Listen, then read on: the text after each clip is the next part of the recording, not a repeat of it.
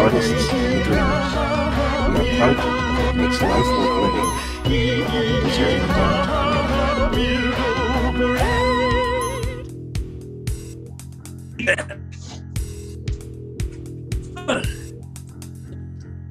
Let's see. Oh, found you. What have I done? Just want to make sure this thing works properly. You good over there, Eddie? Right. Can you hear us? Is our, our sound working? I, I can hear you. I haven't heard Eddie yet. Ah, there he is. Hello. Well, I guess we'll get straight into it. All right. Welcome to today's episode of Here Comes the Weirdo Parade. Today I have visiting us the Unfit Mothers, the uh, star of stage and screen and your nightmares. Give them a hand if you're at home and in a place where you won't get stared at too much for clapping. Well, thank Um, you. Thank you very much. Gen- gentlemen, would you introduce yourselves? Yeah, uh, hi, I'm uh, Dizzno, and this is uh, Eddie Woodbooger. Andy Woodbooger. All right. Well, uh, the premise of the show is that we are talking to weirdos today. Uh, I wonder if you could tell me, uh, either separately or collectively, in what ways, in today's society at least, you are weirdos. Well, I mean, just look at us for starters. I mean, we we don't exactly blend in with the rest of the crowd, right? Uh, other than that, we do a lot of weird things on stage, stuff that's out of the ordinary, as uh, you might expect. Uh, I mean, the coke habit's a little weird nowadays. It was big in the '80s, not so much anymore. Can attest. Yeah. And our, our style of music, what we play, I guess, it's a little uh, out there. We play something we like to call penis music, and it's uh, it's really good stuff, but it uh, takes some getting used to. Penis music. That's right. All right. Um, Uh, yeah. I mean, we are recording this in the basement of a crack house, so as expected. Uh, so, Uncle Dizzno, uh, I, I get the sense you will be doing most of the talking today. that's correct. Yeah, Eddie, he uh, he don't really talk very much. I've never been able to coax out of him why exactly that is. I'm pretty sure he can speak. I just don't know if he likes to. All right. So, uh, I heard that. So, Uncle Dizzno, uh, could you tell the nice people a bit about how we know each other? Yeah, actually, um, I started doing Gonzo Rising, and I've been around doing other things, killing other people. But the very first time, uh, you know, I was at the very first Gonzo Rising, which is the all all weirdo review produced by uh, this fine person here, and uh, it was it was a heck of a show. We were just I, I just sort of got a call one day. Would you would you like to do this? I've been putting together this show. And I said, absolutely, 100% I'm in. And so I showed up, and uh, I've been at every single one since. And uh, I believe you might be the only one, because I think Johnny didn't make it one of them. So I, I think you're the last one. Oh boy. Now I got that sort of Damocles hanging over my head for the rest of my life. Great. um, I gotta keep the record going. I believe you and I may have met, at least in some form, before that call, though. Yeah, yeah, I think so. Uh, You're, you're terrorizing children and such. Yeah, yeah. I um, I was uh, for a long time a staple at uh, some some uh, other dimension, but uh, essentially, yes, terrorizing children, and and, and everybody walks in the front gate. But and that's that's where we initially connected. Yeah, but I'm a lot different than I was then. I've uh, sort of shed that old skin. So, if I were to um, explain to someone who was on my call today, uh, Uncle Dizzno and Eddie Woodbooger, Um, how how should I how should I explain you to them? Well, I mean, visually, you're looking at a uh, a weird cracked out clown and a weird cracked out Sasquatch, I guess. And uh, if if you want to explain me personally, I, I guess you could say I used to be a clown. I think I was pretty funny. The other clowns didn't like me very much, so they uh, they sort of threw me out of the circus because I was uh, a little too mean for them. My standards of comedy were uh, beneath them, allegedly. And uh, one day I just sort of, good lord, muzzle this thing. How did this get in here? Just relax, okay? Okay. Sorry, one of the many attack dogs we have guarding this place. There's all kinds of crackheads down here. But it's essentially one day I found myself in possession of strange eldritch powers. It's a whole rigmarole how I got there. But now I use my weird supernatural abilities to entertain and delight children at parties. And uh, Eddie, well, how should we describe Eddie? I was out in the forest one day uh, trying to get rid of something, you know, that's again a whole other story. But anyway, I was out there digging this roughly human sized hole in the ground. And oh man, this, I just heard, good golly. What is it? What do you smell, girl? All right, whatever. But I was I was out in the forest digging this roughly human-shaped hole, As you and do. yes, as, as you do. And I heard this weird guitar blowing on the breeze. This this this these sweet licks, this strange electric melody. And then out from behind a tree stepped uh, stepped Eddie here, and. Uh, allegedly is what I've been pieced together. He was, or he claims he was raised by a tribe of Sasquatch people uh, from birth, but I think he might have just done a little too much acid back in the day. Now, you, you bring up something interesting. I've recently learned that a former president of the uh, Church of Jesus Christ of Latter day Saints uh, claims that Sasquatch is a singular being um, who is actually the actual biblical Cain. Can, can Eddie speak to that at all or, or verify? What are, do you have any thoughts? Do you know, is there one Bigfoot or many? Well, I, I think as, as he claims, there are many big feet Sasquatch out there. Uh, and I suppose he's one of them now, honorarily uh, indoctrinated by their tribe. Uh, so I, I guess technically there's more than one just by virtue of him being here. So I don't know. I don't know if I can uh, co-sign that or attest to that at all. That uh, Sasquatch was uh, a, a biblical creature cursed to uh, for murdering his brother. I don't know. It's this whole. it- does the curse involve immortality if there's only one that turned him into Sasquatch, and that's why he's there's still Sasquatch sightings?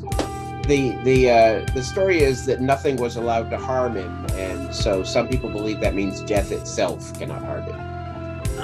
Uh, but I generally don't combine my cryptozoology and and theology all that much. Yeah, I, I, think that might be a little bit of a leap because I mean there are there are sightings all around, all around the country.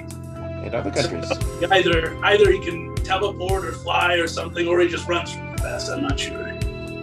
and and relatives uh, in uh, the Yeti up in up in the Himalayas. Yeah. Do you know any um any abominable snow people, Eddie, or is that not really something that you're uh, you're familiar with? One or two, maybe. Yeah, there's probably some big family reunion where they all they all hook up somewhere in the woods. I don't know. That would be a party. That would have would be something to see. Now, uh, on to other topics.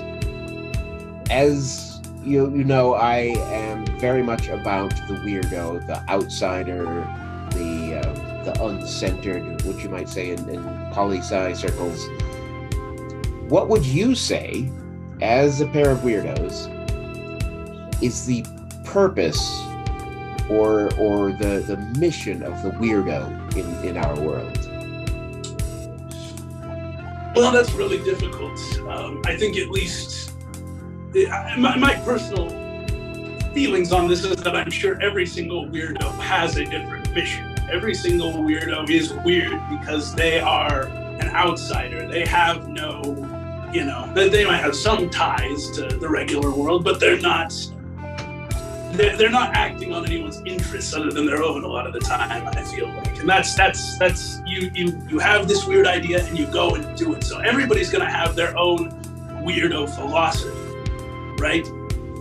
Now, mine personally, my whole philosophy is I just I just want to give people a good laugh. I want to I want to entertain the masses, and uh, you know, I I think I think weird is entertaining. This is something I picked up from my days in the circus. Is that that was always you know people would come and see the uh, the, the the big shows with all the acrobatics and the clowns.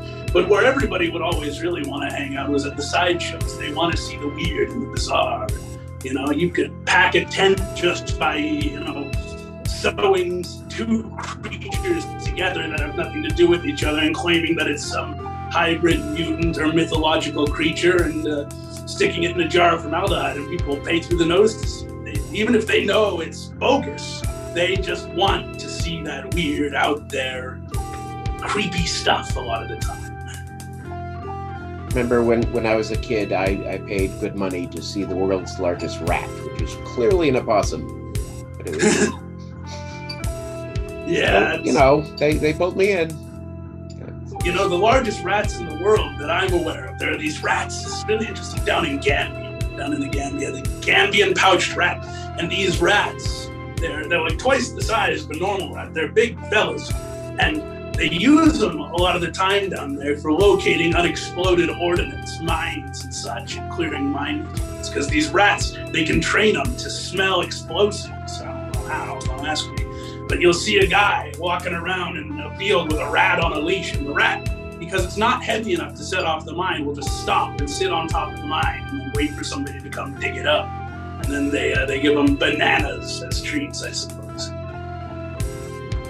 How does work? Have you ever had any uh, trouble being a weirdo in society? Well, I mean, yeah, I've been arrested more times than I can count. Uh, for you know stu- uh, stuff ranging from all the way to uh, things that most people would absolutely probably consider to be morally reprehensible, all the way down to just uh, you know random. You know, the, the one thing they'll do is they'll just slap you with disorderly conduct. That's sort of their catch-all. We don't like you. You're causing a scene. Go to prison and get out of here. That's just what they'll do, just to get you off the street. Boy, I found myself on the receiving end of that all the time. Grave robbing, busking without a license, and disorderly conduct. You know, they'll just tack it on. Public urination works. Mm-hmm, mm-hmm. All, all at the same event sometimes. Oh yeah, yeah. It's. I've been to some crazy parties. Let me tell you. I believe it. So, what does the future hold to the unfit mothers? Well, uh, I think what we're gonna do is we're gonna keep on doing shows. Uh, we're gonna put out maybe a few singles or something here and there, but really we are focused, I think, primarily on live entertainment. Is that right? I mean, we like people to come out and see us. We like the it's it's always even if it's a huge crowd, it's always a, a very intimate experience watching something live. You know, and I I just think that's fun, and that's you know kind of what we like to do. We like to entertain and we also like to educate children about you know the dangers and things that go on in society. So it's very it, it's easy to do that in a live format you know? That's sort of uh, sort of uh, our game plan. Keep doing live shows. Um, there's a cat in here now it's raining cats and dogs anyway excuse me we're uh, we're we're mostly going to be doing live shows, as I've said, but then we'll occasionally kick out a uh, a single here and there, I would think, and also probably some like weird bootleg tapes of just some of our rehearsals. Whenever we come up with a fun song that you know, uh, we don't really know how to rip it or act. Hi, bud. We'll uh, we'll we'll get a, a little rip of that from some recording software and throw it out there for the masses to hear. Do people still do bootleg tapes? Well, we're bringing them back in style. I know some people who still do them, but I really think that is like the peak way to experience our genre of music. Penis music sounds the best on a cassette tape that's been played through a Walkman three or four hundred times and it's kind of starting to get all messed up and crackly. So, uh, what can you tell us about penis music? We're going to play a sample for the audience at home. Uh, Sure. So they'll get to experience it directly. But uh, what can you tell me? What what makes it distinctive? So, penis music, typically, at least the way I define it, I'm sure other people, it's such a broad genre. Almost anything can be classified as penis music, uh, provided I think it meets certain criteria. It's got to be, it, it, it, it, usually it's high energy. Can have some lower, slower bass songs, but oftentimes it's very, uh, hi- uh, you know, very high, fast music and it's very strange. It makes you start to feel like your mind's coming unglued at the seams a little bit. And don't give the cat beer. That's not a good idea. I've seen this guy when he's on a bender, he'll trash the place. But when how should, how should I put this? A, a song can be part penis music too. You know, it, as long as it has like a bit that sticks out, hence the, the name penis music. It's got something that just comes out of left field randomly, and you're like, oh, am I listening to a different song now? What's going on? So that's a kind of penis music. The other kind is just weird. Just it, it makes you feel very ill, but at the same time, you know, you want to jump and dance. It's groovy, you know. That uh, and that it is, uh, as as the audience will know. I think at this point we will take a break. Not you and I, uh, but the audience at home will have a brief fade to black and a video clip from Gonzo Rising Resurgat, which happened a couple weeks ago. And then we'll be right back with Unfit Mothers.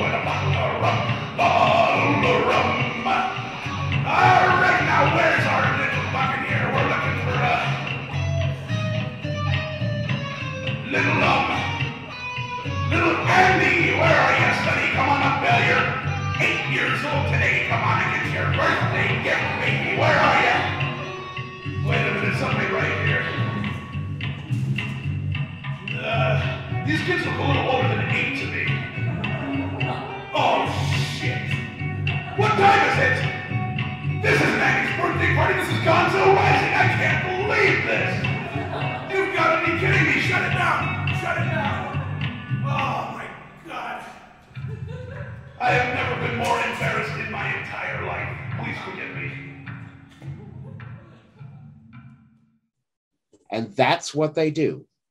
What do you think of that? By the way, I want to be very clear. Are you unfit mothers or the unfit mothers?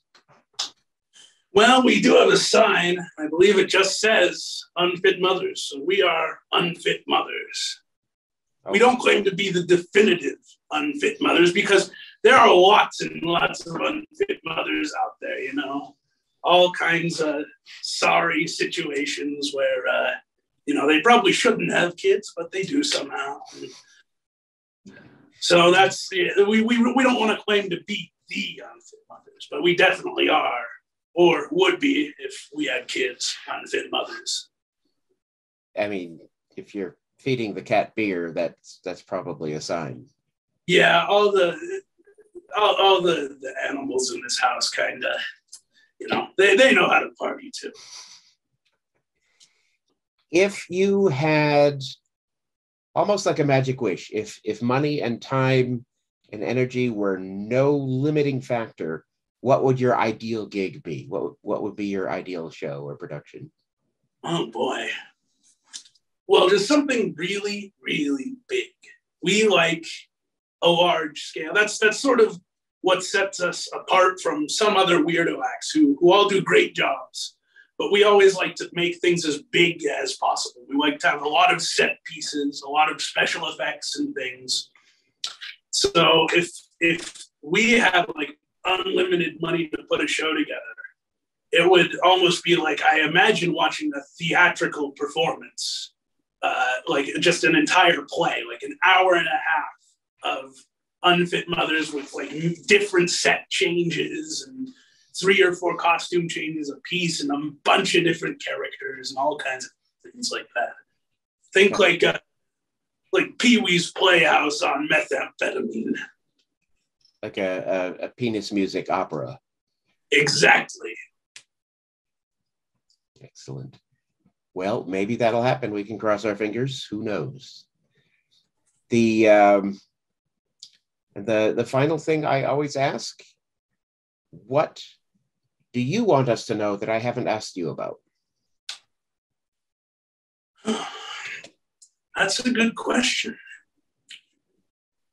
Well, mostly, I just want to let everybody know to keep an eye out for us. Keep an eye, mostly on our Facebook page at Unfit Mothers. Make sure it's it's got a picture of me and Eddie as the uh, the little profile picture. It's our, our logo, and yeah, keep, just keep an eye out there because we've got some more stuff coming down the pipe soon, and uh, I think everybody will really enjoy it.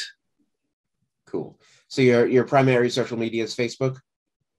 That is correct. I've considered getting into other social medias and opening things up, which we, I'm sure, inevitably will have to do the further and further we grow. But I don't know. I just hate social media. I hate the internet. It's it's cesspool, and that's coming from me. That means something. That's true. You're you're you're very visual. You'd probably do well on TikTok, but I don't know if you want to get into that um, circle of hell. But uh, Yeah, I don't know if I want a bunch of spyware for the Chinese government installed on my phone. I'm gonna be honest. well, there is that as well. All right, um, Uncle Dizzno, Eddie Woodbooger, thank you for your time. This has been uh, here. I've forgotten the name of my own damn show.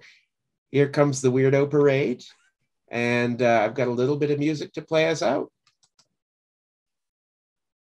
Any second. Bye bye, kid.